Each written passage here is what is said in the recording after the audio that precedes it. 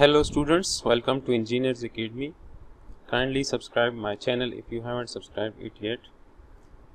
Now uh, let's solve this particular problem. In this problem uh, it is said that at the instance shown the 100 pound block A is moving down the plane at 5 feet per second. So this is the velocity of the block right? While being attached to the 50 pound pound block B, right? So we have this 50 pound block B as well. Is, they are attached to each other through this uh, pulley and rod mechanism, right?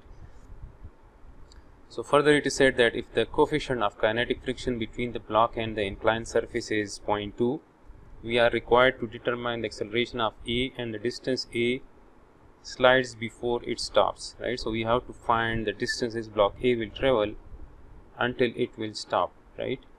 And it is said that neglect mass of the pulleys and cables.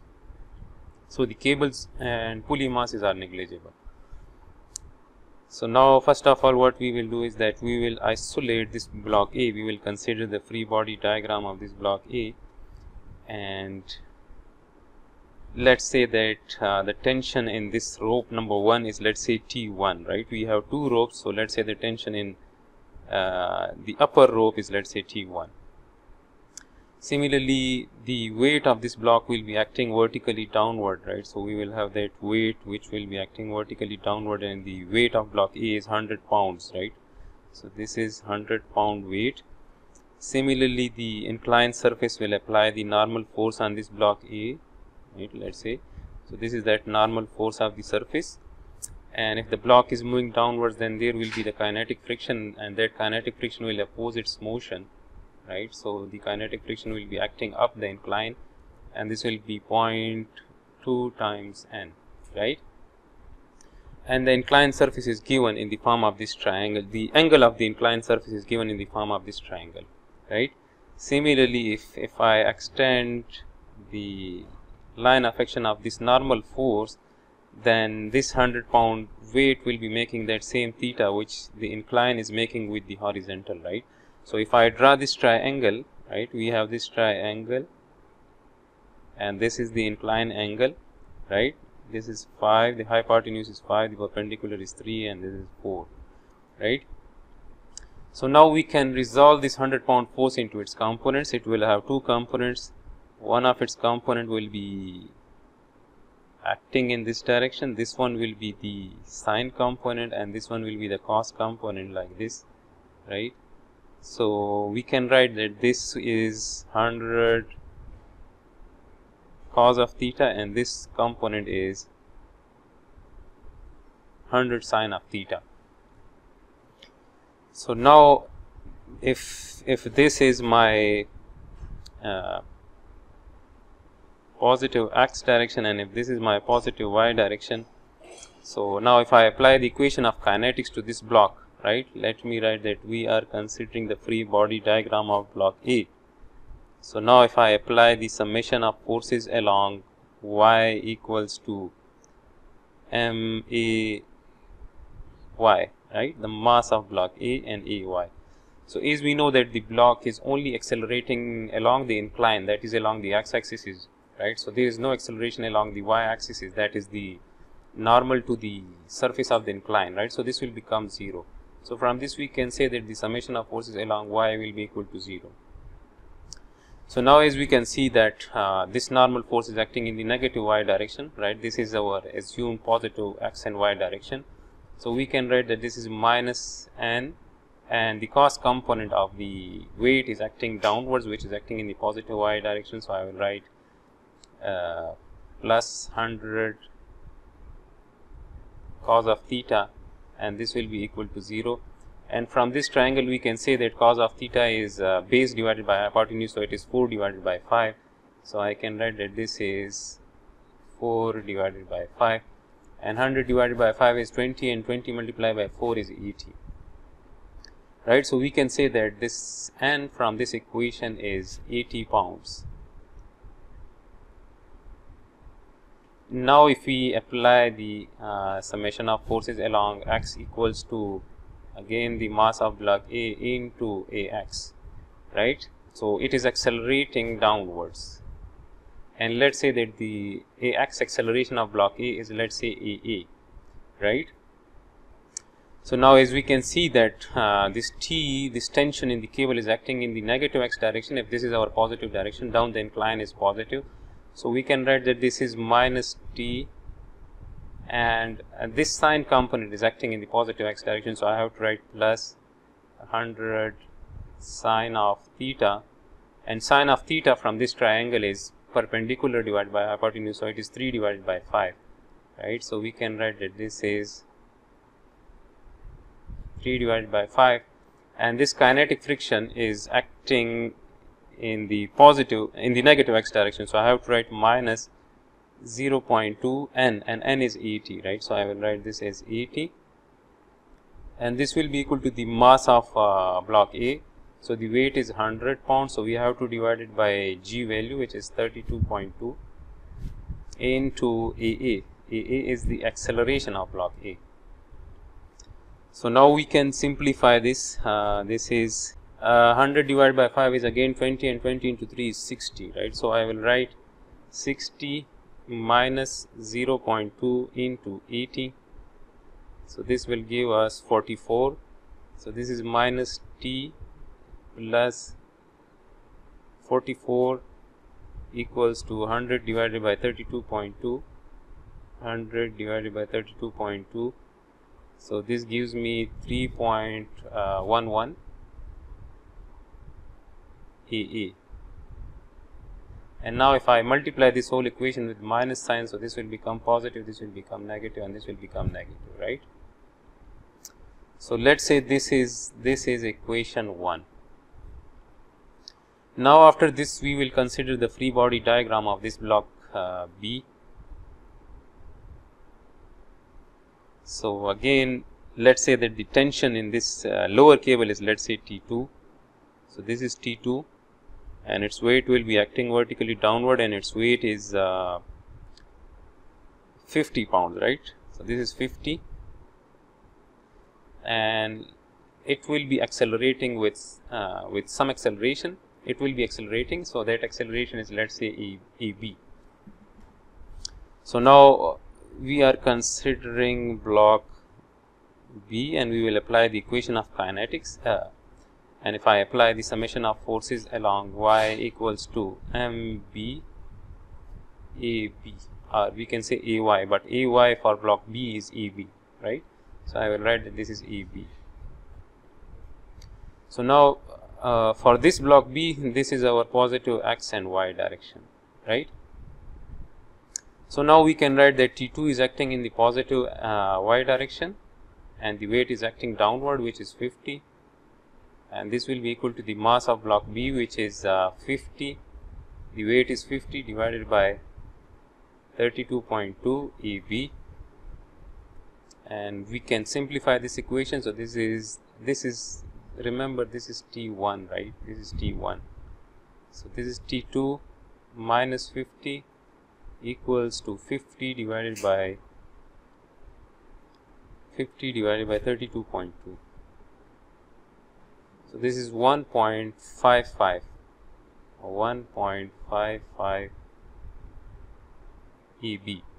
So, this is equation 2. Now, after this we will consider uh, this pulley C and D since they are moving together. So, we will consider them as a one system right. So, this is let us say my pulley C and let us say this is my pulley D and they are attached to each other right so, here this uh, rope is continuous and the tension in this upper rope is T1. So, here we will have that T1 and here we will have that T2 uh, sorry T1 again and in the in the lower cable the tension is T2 right. So, this will be T2 and this is T2. So, now if we consider pulley C and D free body diagram. And again if we apply the summation of forces along y equals to the mass times ay right? So pulley c and pulley d they will accelerate uh, together and their acceleration will remain the same since they are tied together. But as we know that the masses of the pulleys are negligible so this um, this will become 0 right? So this means that for these two pulleys the summation of forces along y will be equal to 0 so from this we can write that 2t1 minus 2t2 is equal to 0 or we can say that T1 is equal to T2. So now uh, this result is very important since in equation 1 and 2 uh, we have two equations and we had four unknowns right. So now T1 is equal to T2. So now we have two equations and three unknowns. Now after this what we will do is that we will find the relationship between the acceleration of block B and the acceleration of block A. So to find the relationship between the acceleration of block A and B we need to define some datum lines right. So for pulley C and D let us say that this is my datum right since the center of this pulley will uh, remain at rest it will not move right. So this is my datum for block A this is my datum and for block B this surface is my datum right. So now the position of block A will be measured from this line and let's say that the position of block A is positive in this direction and let's say that the position coordinate attached with that block A is let's say SA Similarly, this block C, uh, pulley C and D will move together. So, let us say that uh, this will be the position coordinate the of that pulley C. Let us say this is SC. And for block B, let us say that this is uh, this will define the position of block B. This is SB. So, if block B is moving downward, so that will be considered as negative uh, moment, right? and this is the positive direction of the motion of block B. Similarly, this will be from here to here, this will be, so this is SD remember, right? And let us say that the distance between uh, both of these pulleys is let us say x. And let us say that the the height of this whole mechanism is let us say represented by h. So, now we need to write uh, the, the length equations for both the ropes right.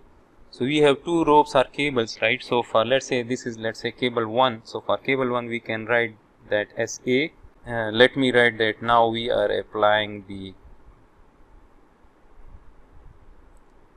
concepts of kinematics right. So, now we can write that as A plus this as C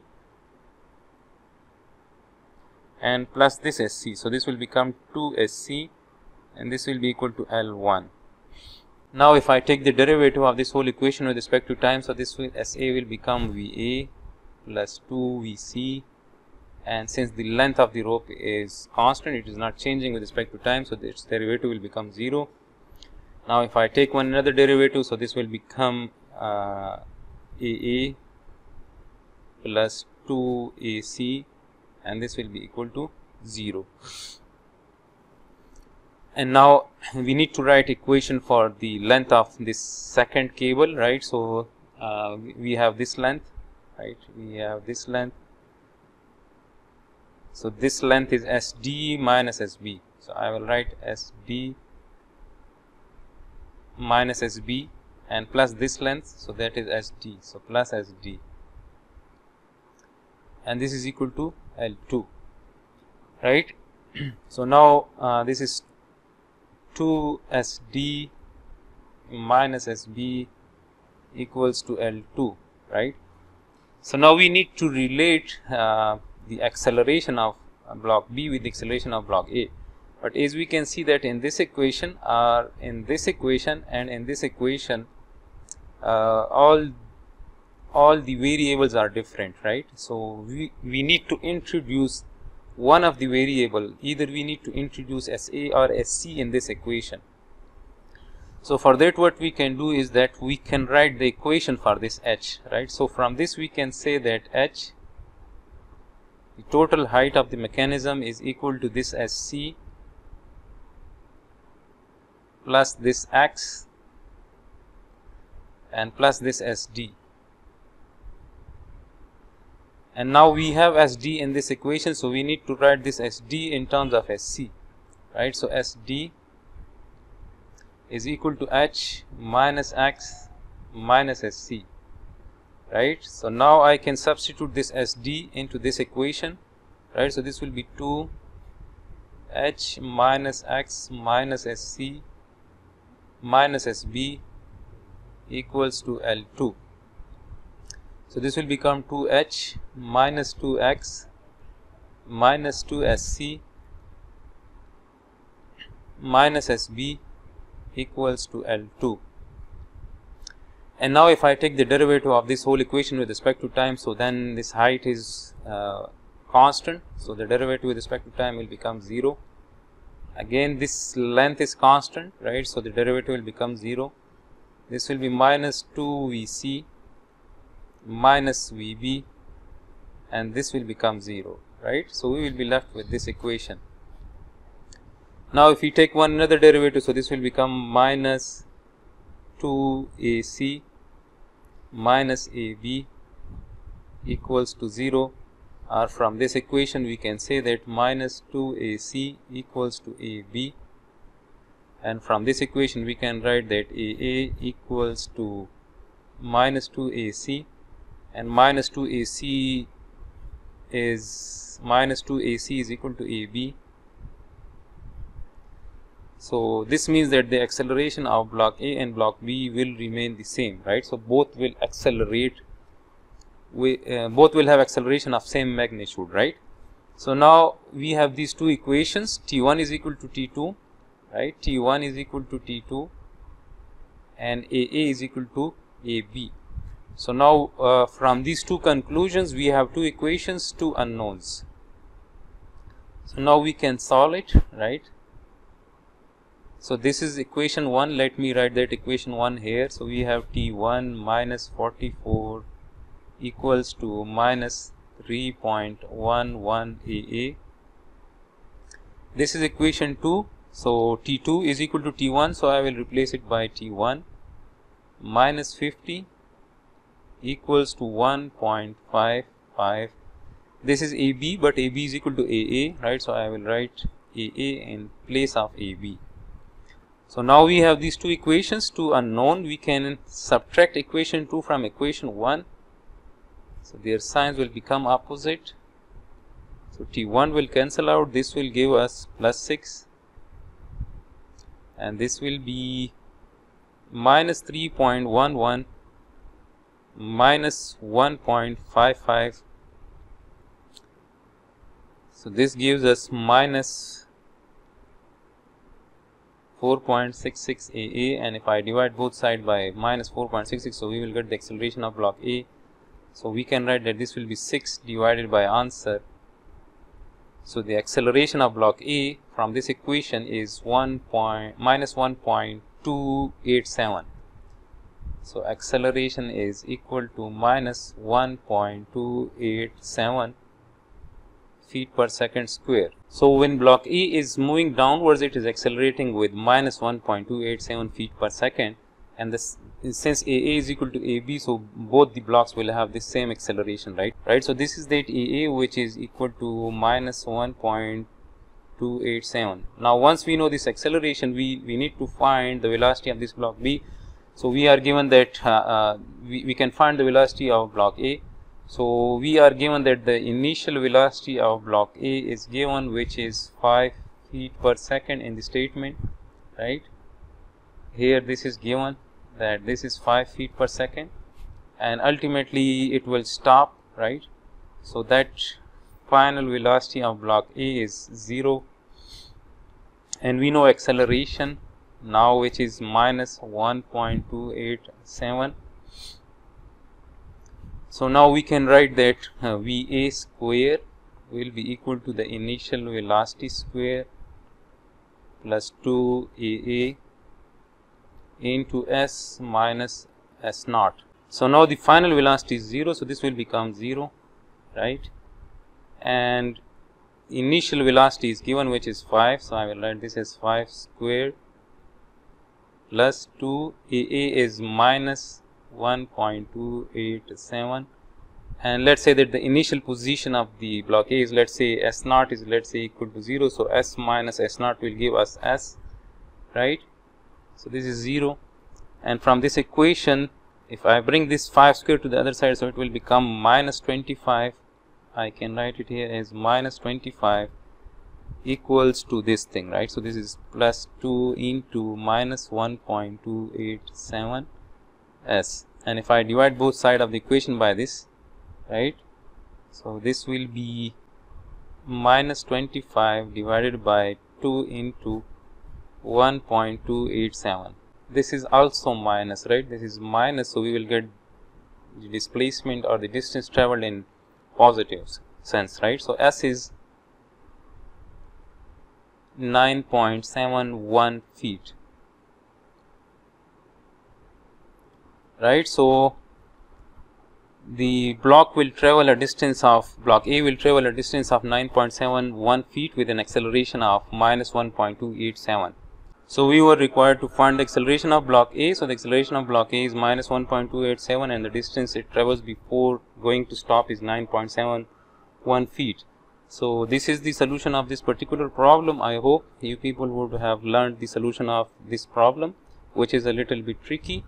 Kindly like my videos if you people want me to solve such more problems. Also subscribe my channel.